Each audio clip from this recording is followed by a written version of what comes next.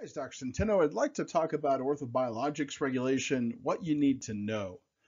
Basically, uh, this is the talk that I gave at the Tampa uh, AAOM meeting, and if you weren't able to make it, uh, here it is.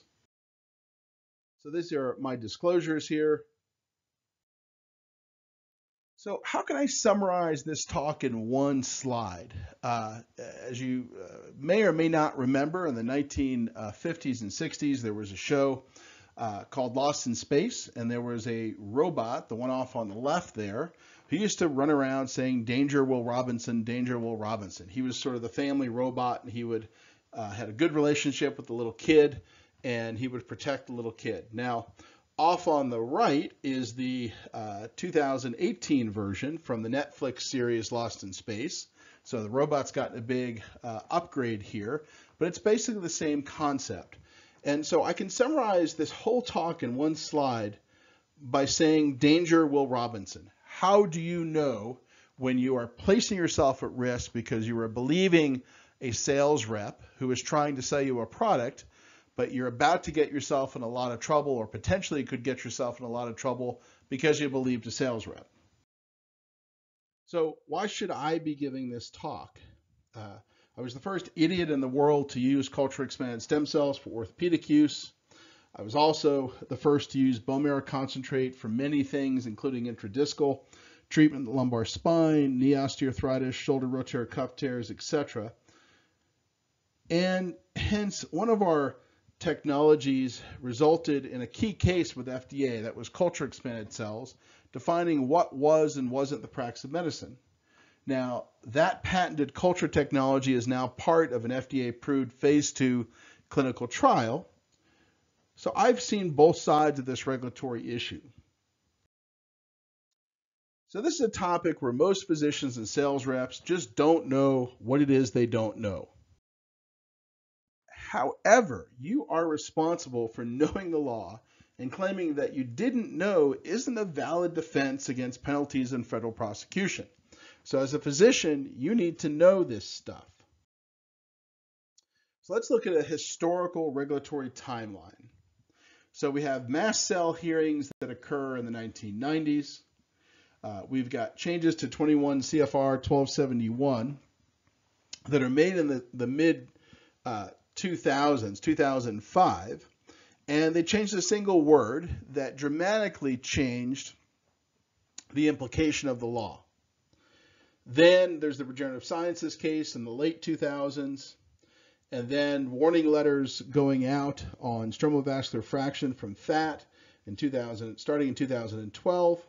And then we've got FDA NIH hearings last year, and Gottlieb's, uh, the FDA commissioner's uh, press release on bad actors that were using stromal vascular fraction in patients. And then we've got the 21st Century Cures Act. And then we've got a recent letter by uh, Grassley uh, basically wanting blood on this whole issue. So the regulation you need to know is 21 CFR 1271, and it's off to the right there, and it's fairly complex, so I'm going to break it down and make it much easier. Bottom line is if what you produce in your office crosses the quote minimal manipulation line, then it's a drug. Now, you can cross that line a lot of different ways, so that's where you probably want to make sure you talk to a regulatory attorney about what you're doing, but it's basically a line in the sand type approach. For instance, culture expansion crosses that line, um, but just uh, centrifuging does not. So there's no protection because you're a doctor, nor because you perform the procedure in a medical setting, nor during the same surgical procedure. Meaning, if what you're doing doesn't pass that minimal manipulation smell test, it doesn't matter that you're doing it in your office. And there's no protection because you have IRB approval. And another way to cross the line is not only in the processing, but you can cross the line by using tissue in a non-homologous way. So homologous use to FDA means basically that the way the body uses a certain tissue is the way you must use that tissue in your treatment. So examples of homologous use, uh, the FDA provides some for bone marrow concentrate uh, hematopoietic reconstitution. Uh, that would be obviously for use in, in neoplasm or cancer. Uh, for fat grafts, it's only subcutaneous to subcutaneous use, meaning that the FDA included uh, breast tissue as only for lactation. So augmenting breasts with a fat graft was considered non-homologous use. In addition, using fat in the knee is also currently considered non-homologous use. Bone marrow in orthopedics uh, has basically been given a pass for now. That could change uh, if the administration changes. And we believe that there's enough evidence that it's homologous to cartilage, muscle, tendon, and ligament. And we're working on an academic review paper right now on why this is so. We've gathered academics from Harvard and Emory and Stanford to be able to come together and say, uh, FDA, here's all the research that shows that uh, bone marrow concentrate is homologous for use in orthopedic care. And if you cross the line, you'll be viewed and inspected as a drug manufacturer. So what does being viewed as a drug manufacturer mean? Well, it means that you'll have to have a BLA or IND in place through the FDA. Uh, and just getting your protocol IRB approved means nothing. And you'll be held to a CGMP drug manufacturing standard. So your office will be inspected as if you are a Pfizer drug factory, and there's no office on earth, medical office or hospital that will pass that test. So doesn't having IRB approval for a study get around all these regulations? If you're a doctor, you probably heard this uh, talked about, but the answer is absolutely not. Uh, in fact, it just means you're now violating both the FDCA and regulations promulgated by OHRP. So what types of orthobiologics are being used today for orthopedic injuries? Well, we've got allogeneic and we've got autologous. So we've got cord blood and amniotic uh, on the allogeneic side and autologous bone marrow concentrate uh, and adipose tissue. So if you look at autologous first, basically you've got uh, two bone marrow procedures, a same day centrifugation isolation of the buffy coat, and that is currently given a pass. And then you've got culture expanding cells, which is clearly a drug. Uh, there are three different types of fat stem cell procedures. You've got a simple adipose graft, uh, microfragmented fat or lipogems would fit in here and that's a tissue with no FDA approval. Then you've got stromal fraction, and that's where you enzyme digest the cells out of the fat, and that's a drug that does require full FDA approval. And then you've got, you can always culture adipose stem cells as well, and that's a drug. So the FDA right now has a real bugaboo with uh, stromal fraction from fat. So what is SVF? Basically, it's a mix of cells that contain mesenchymal stem cells uh, in a small percentage. There's lots of different cells in SVF. And it's created by digesting lipoaspirate with collagenase or another enzyme. Now, it's a bit of a mess with fat stem cells right now because when properly isolated, this is a drug, as I've said, and this applies even if you're processing fat at the bedside. And in August 2017, the FDA commissioner called these clinics, quote, bad actors, the ones that were treating chronic diseases this way. And some organizations claim this isn't the case. But beware, if you're caught doing this, you're going to be accused of the production of an illegal drug. And so this is a little bit more on uh, the new FDA commissioner, uh, Dr. Gottlieb's call out of bad actors. That's the New York Times article off on the right there. And basically, clinics treating all sorts of diseases with uh, stem cells. There was an FBI raid on a California SVF clinic treating cancer. There was a warning letter to a Florida clinic that blinded three patients with adipose SVF. And Senator Grassley sent a letter last week basically wanting blood. He is asking the FDA to begin prosecuting these bad actors. So uh, I suspect we'll see some actions here on clinics, miracle cure clinics that are treating everything with stromal vascular fraction pretty soon. So one of these is a fat stem cell procedure, the other is not. So what I mean by this is that if you're making stromal vascular fraction and breaking down the fat to get the cells, then you've got uh, a drug and you can't do that. If you're just injecting a simple adipose graft or microfragmented fat, I'm going to show you here that that's not a stem cell procedure, meaning it does not have any free available stem cells at all. So in 2012, we obtained uh, lipoaspirates and then ran these through a mechanical emulsifier. Uh, there were a lot of people doing that at the time, calling this a stem cell procedure, but it's not. We got no viable free stem cells out of this. The stem cells are still locked in their collagen prisons. And at the end of the day, what's interesting is that this is the same fat graft that's been done for 100 years. So I'm not quite sure how we can take something that's been done for a century or more in surgery and all of a sudden start calling it a stem cell procedure. That's just disingenuous. Then in 2014, we used this pretty cool uh, vibration assisted liposuction machine uh, and the company claimed that it would be able to dissociate the cells from the collagen right in the body as you were taking the fat. The problem there is we got very few viable stem cells and far fewer than you could just get from bone marrow concentrate. So since liposuction is a more invasive procedure than just doing a bone marrow aspirate, we didn't see the need to do that. Now in 2017, we tested microfragmented fat in our lab uh, versus a simple modified mechanical emulsifier technique uh, that was developed by our scientists. Uh, and what was interesting was how poorly lipogems performed in isolating stem cells. And that's only interesting because uh, Lipogems had a lecturer that was claiming that he saw stem cells climbing out of these little fat fuzz balls um, uh, in culture. And if that had happened, we would expect to see uh, stem cells in these experiments.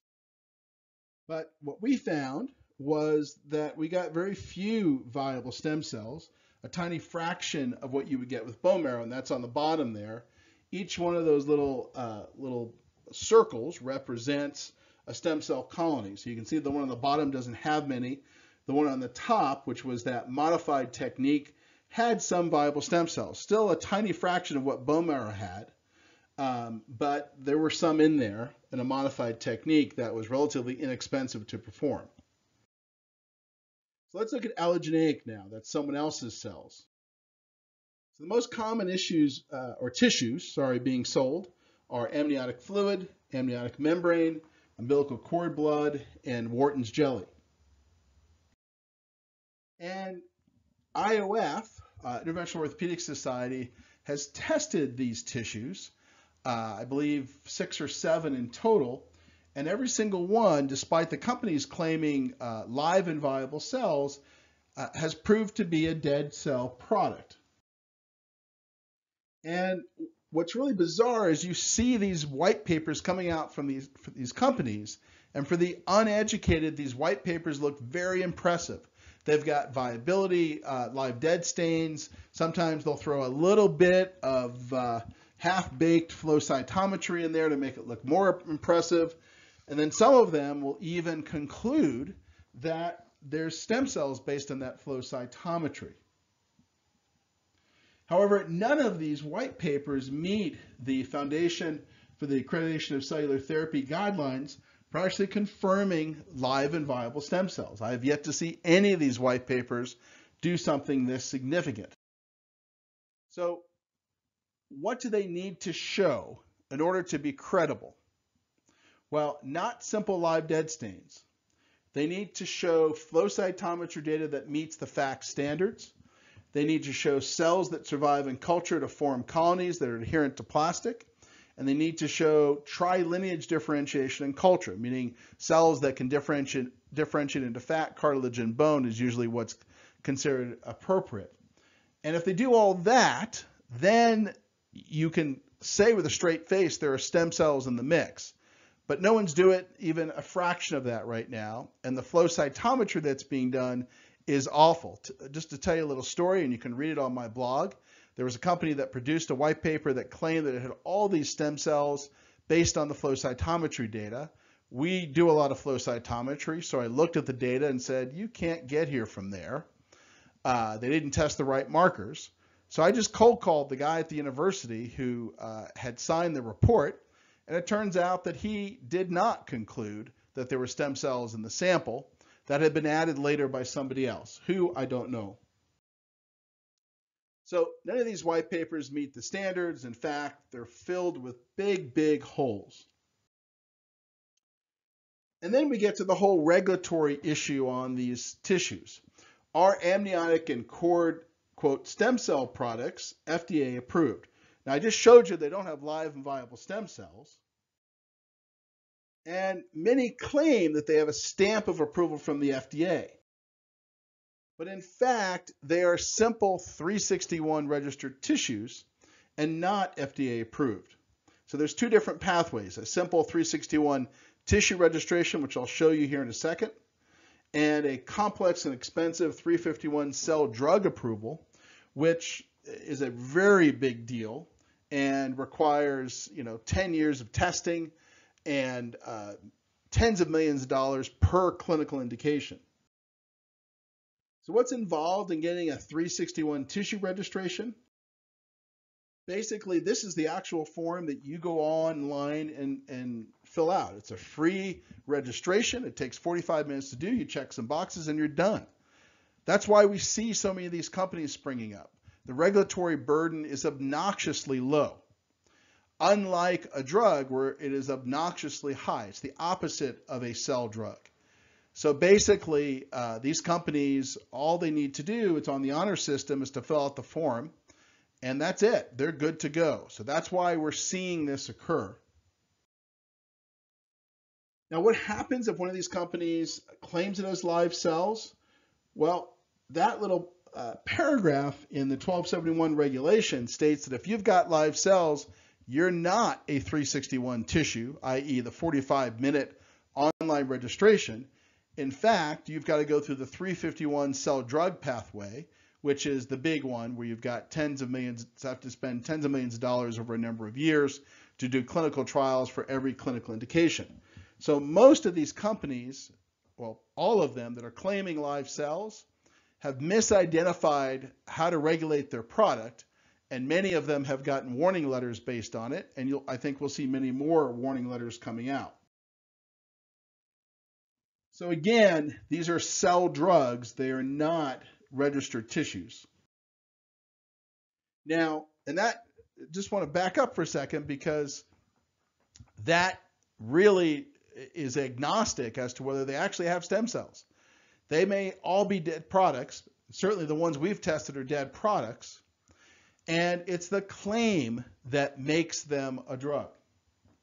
So, do you have any legal liability as the doctor who uses an illegal biologic drug if these things are misbranded uh, and mislabeled? And the answer is based on Section 301 of the FDCA, you are liable. Uh, basically, just the receipt of something like this, and certainly the promotion of it, makes you as liable as the manufacturer and which physicians right now are sitting in federal prison for violating this law? Those that promoted an illegal drug product via seminars. Does that sound familiar? If you're a doctor and you buy this stuff and you go out and hold a patient seminar or a seminar for your referral sources claiming that you are performing a live stem cell injection, you are as liable as the manufacturer who mislabeled it. So scenario one, uh, you order and pay for an amniotic or cord blood product because it claims it has live cells in an email, um, but it, it's actually an adulterated misbranded drug product. You hold a stem cell seminar for patients and local referral sources, so you become liable under Section 301 of the FDCA. And as discussed previously, culture expanded cells are also drugs. And the reason I bring this up is we have several companies right now claiming to be able to culture your patient cells and store them. Is this legal? And the answer is absolutely not. So scenario number two is you send a bone marrow or a fat sample to be cultured to a manufacturer's site as part of what you're told is an IRB approved study, and you pay for and inject those expanded cells in a patient. Again, you're liable under Section 301 of the FDCA for using a misbranded and adulterated drug knowingly because you're supposed to know this stuff. So you cannot do this. And if someone tells you you can, run the opposite direction as fast as you can. So again, if a company wants to culture your patient's stem cells, they'll need to show you a separate biologics license for each clinical application, one for knee osteoarthritis, one for shoulder rotator cuff tears, one for hip osteoarthritis, etc. Uh, and none of these companies have these. They don't exist. So if someone tells you this, just run. If a company claims to be selling live cells at all, i.e. in a vial, ask to see their FDA drug approval documents, not their simple 361 online registration. They should have years of extensive clinical data to show you. Um, and if they don't have that, then again, run. There are companies out there that are playing this straight uh, that use amniotic tissue uh, and sell amniotic tissue, and they don't claim any live cells. Uh, these companies are just straight up doing it correctly. And go buy the stuff from one of those companies where you won't get in trouble, but don't buy it from a company claiming live cells because that puts you at significant legal liability. So again, don't end up in federal prison or defending yourself from a federal indictment because you believed what a sales rep said. Do your own homework. So what can we do now to protect this field going into the future? How do we how do we come together as physicians to make sure that we can continue to do certain things? Well, one of the more important focuses there is how to prevent orthopedic bone marrow concentrate from falling into the regulatory abyss. And I think it's the four P's. Number one, partition, separate orthobiologics from the miracle cure stem cell clinics. PR, educating the world about the benefits. Pressure, uh, patients and stakeholders need to organize and bring pressure to bear on legislators, and then publish, uh, i.e., we're doing that big review article right now to basically show FDA the data that's already out there that shows that using their own regulations, bone marrow concentrate would be homologous for orthopedic use. And most importantly, make sure you know when to say, danger, Will Robinson. That's it. Thanks so much uh, for watching and have a great day.